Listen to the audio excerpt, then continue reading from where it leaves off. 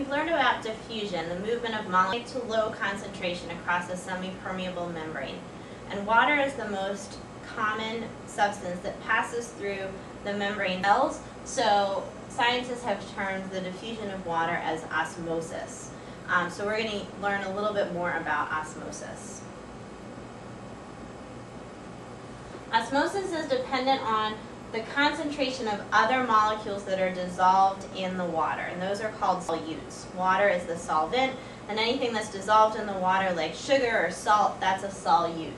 Um, so the more solutes there are, the less water, because solute molecules take up space just like water molecules do. So here we have a picture, and the little green circles are supposed to represent solutes. So the um, the right area has more solutes, and therefore it, can, it holds less water. So we would say that the right part of the picture has less water. The left part of the picture without any solutes dissolved, it has more water. So water in this case would move from left to right because it wants to reach an equilibrium. It wants to reach a point where there's an equal amount of water in both areas.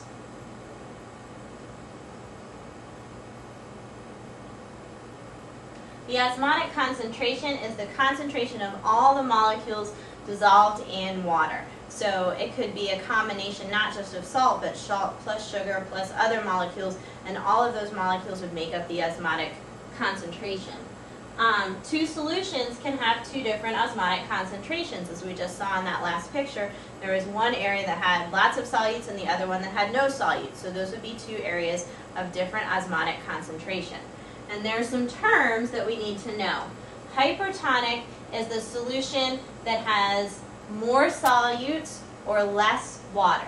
Hypertonic, more solutes and less water. The opposite is hypotonic. Hypotonic has more water and less solutes. So water goes from a hypotonic area with more water to a hypertonic area with less water.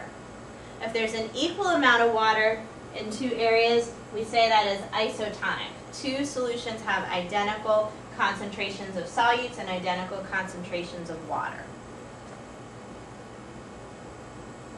Okay, so like I said, water moves from hypotonic to hypertonic.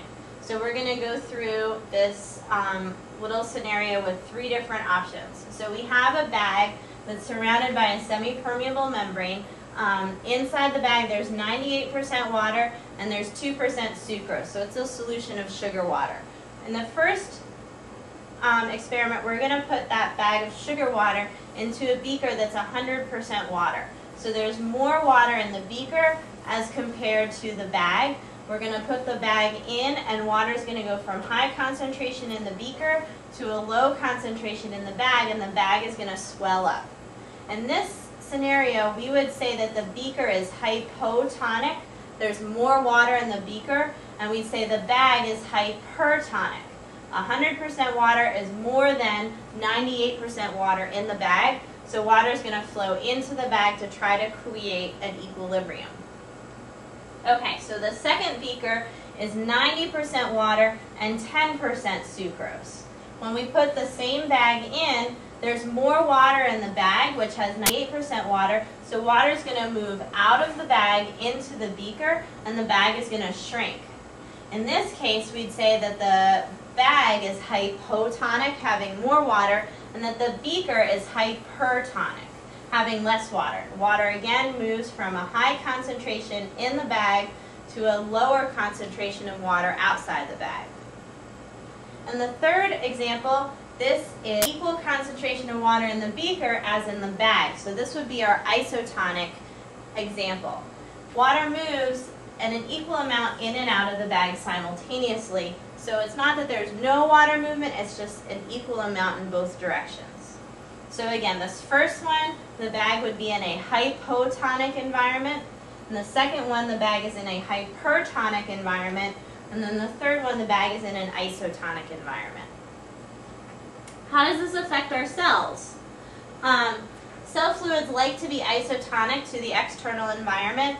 Um, if the environment outside the cell is hypertonic, the cell is going to shrink. All the water is going to leave the cell, the cell is going to shrink, and that's what's shown in this picture here. All of the organelles are jumbled together in the center of the cell.